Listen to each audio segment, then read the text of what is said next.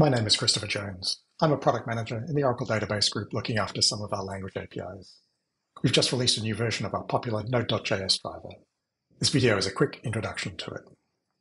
Node.js lets you write efficient applications in TypeScript or JavaScript. Installing the Node Oracle DB module lets those applications connect to Oracle Database for fast, efficient data access. Node Oracle DB 6.0 is our latest release. Your TypeScript and JavaScript applications can connect to Oracle Database.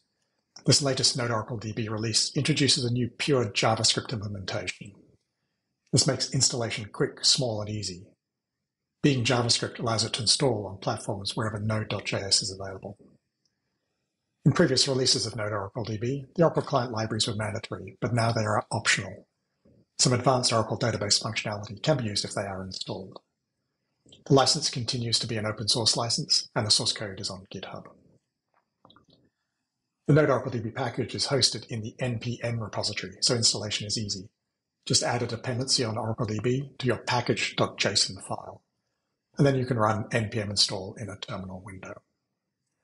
Applications can be in TypeScript like this, or pure JavaScript as shown here.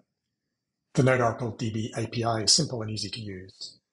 This example connects to Oracle Database, inserts a JavaScript object into an Oracle Database JSON column, and then queries the data back. Node Oracle DB has many features, including resilient and scalable connection pooling for efficient multi-user applications. You can optionally stream query data to use event-driven applications. And applications can take advantage of many Oracle Database features, there is great JSON support, including for the new JSON duality view feature. Oracle's SODA document NoSQL style storage can be used.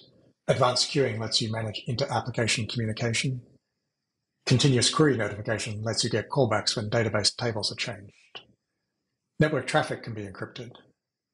Node Oracle DB can take advantage of database resident connection pooling, DRCP, letting your database handle many, many application connections across multiple application processes. High availability features such as Oracle's application continuity and transparent application continuity provide high reliability. And there are many more great Oracle database features that you can use to build fantastic applications.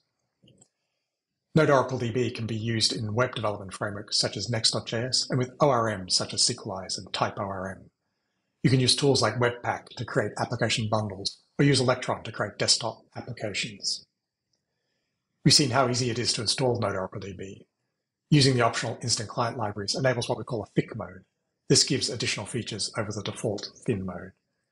The Instant Client Basic package adds about 240 megabytes on Windows, so thin mode has a definite size and install advantage. Thin mode is fantastic for most users, with great data type and connection support. It can connect to all recent Oracle databases.